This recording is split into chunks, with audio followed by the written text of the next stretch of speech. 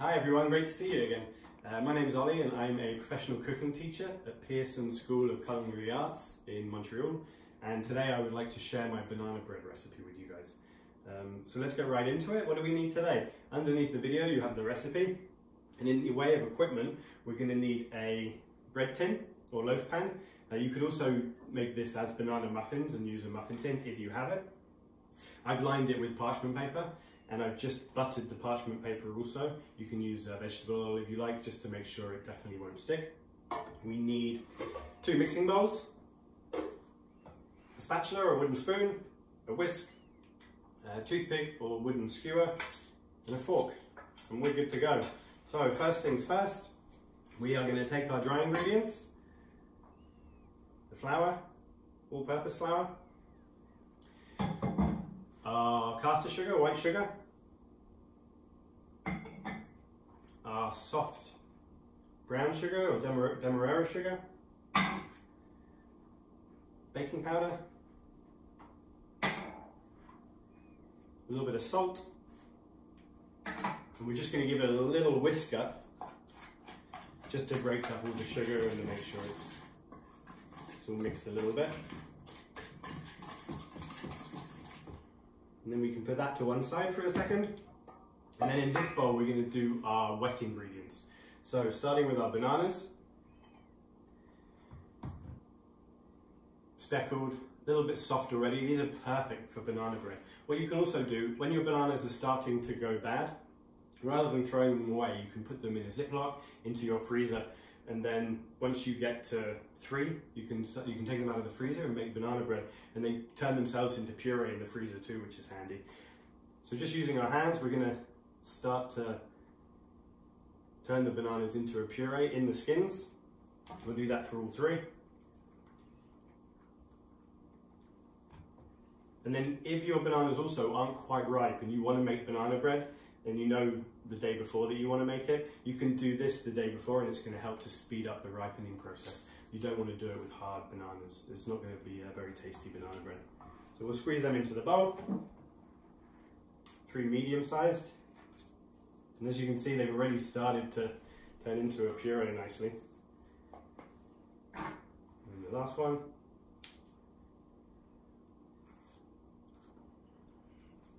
So, and then we're going to take our fork and we're just going to carry on the mashing process.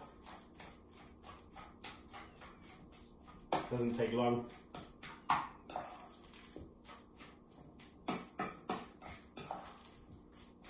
The riper the bananas are, the easier it is to make the puree. So that's that. That's good. Now we're going to incorporate all the rest of our wet ingredients into there. So we're going to take our vanilla extract. You could use fresh vanilla if you like. Um, one pod, scrape out the seeds would be good. Vegetable oil. You could also use canola if you have canola. Uh, eggs, two eggs, I've just whipped them, I've whisked them up on their own already to, to start the process. That. A little bit of sour cream. And then we're going to use this whisk.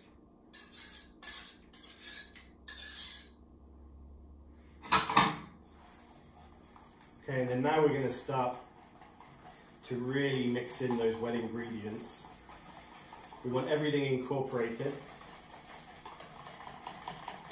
and then just twisting the whisk to make sure that the bananas are really pureed. It doesn't matter if you have a couple of lumps, it's actually quite nice in the bread, gives a different texture. So, we have our dry, we have our wet, we're going to turn the oven on to 350 degrees. And then what we want to do now, we're going to incorporate the wet into the dry. So we're using our plastic spatula or spoon, Gonna mix this in. Starting to smell pretty good already. And then we don't want to beat it too ferociously. We're going to just fold it. So doing like a figure of eight motion.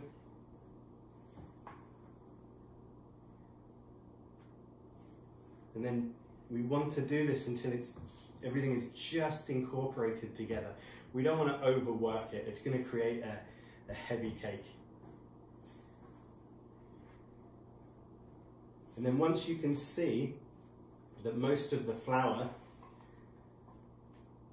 has been incorporated into the wet ingredients, we can then take our chocolate and nuts. In the recipe it says two thirds of a cup, one third of a cup of chocolate, one third of a cup of walnuts. I have semi-sweet chocolate and toasted walnuts. You can swap out these two ingredients for anything. You can do pecans, white chocolate, dark chocolate. You could do flaked coconut, uh, goji berries. I like to put chia seeds in my banana bread too. And um, as long as you respect the ratio of uh, two thirds of a cup of mix-ins, you can change them for whatever you like. So now we're going to put these in. We put them in last because we don't want them to break up too much. And this way, because the mixture is already, um, it's already mixed in together, they won't sink to the bottom. They'll be evenly spread out through the loaf. So again, very gently, just folding, not beating it too much. And then once the nuts and chocolate are nicely incorporated, it's ready to go in our tin.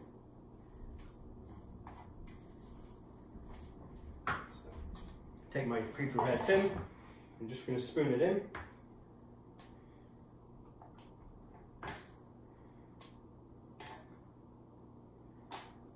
Like this.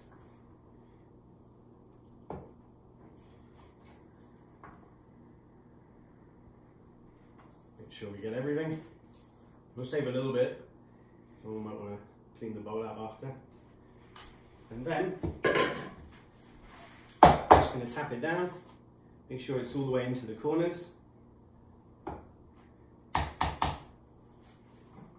then what I like to do, just to do a little bit extra, I like to put my banana also on top of the cake. So I'm going to take one of the bananas that I didn't mush up peel. And then I'm going to take a couple of rounds, couple of discs straight down. And I'm going to put these, I'll show you afterwards, I'm going to put these onto the top in a nice decoration so that it looks like a nice presentable cake afterwards. Put a half in there as well. I'm not pushing it too far in and that's good. This one I'll eat. I'll take some half rounds, half, half moons.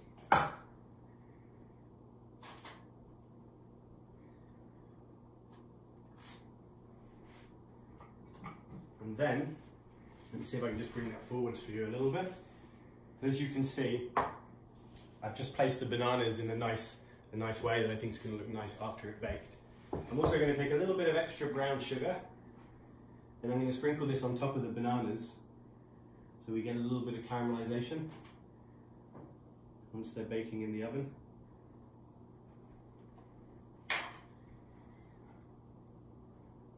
Okay, this is ready to go in the oven. The oven's at 350 degrees. It's going to take between 50 to 60 minutes. I'm going to put that in the middle shelf. And in fact, I'm going to put the banana bread tin on another tray. This is going to stop the dough from direct heat going into the bottom of our loaf tin um, and maybe browning too much.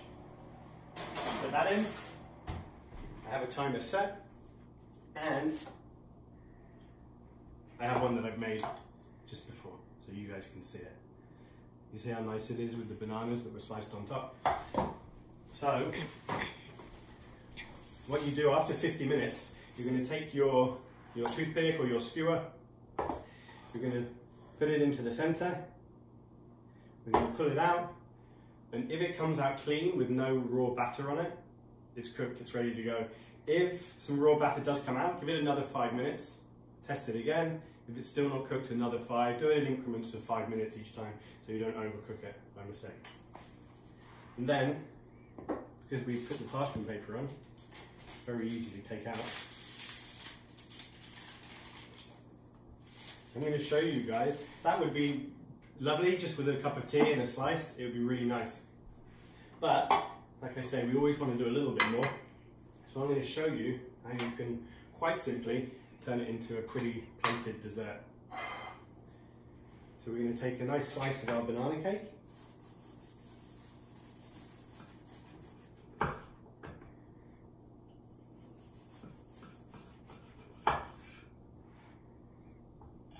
This, put that in the middle of the plate. And then what I have over here, I have some mascarpone mascarpone cheese, which I've just whipped up with a little bit of icing sugar. I put it in a piping bag with a little um, round nozzle at the bottom, and I'm just going to do a couple of little dots of mascarpone. This has got a really nice texture, and it goes really well with the, the chocolate and the, um, the walnuts. I'm going to take some mint leaves, just going to pick off some nice mint leaves, them on top of some of the mascarpone.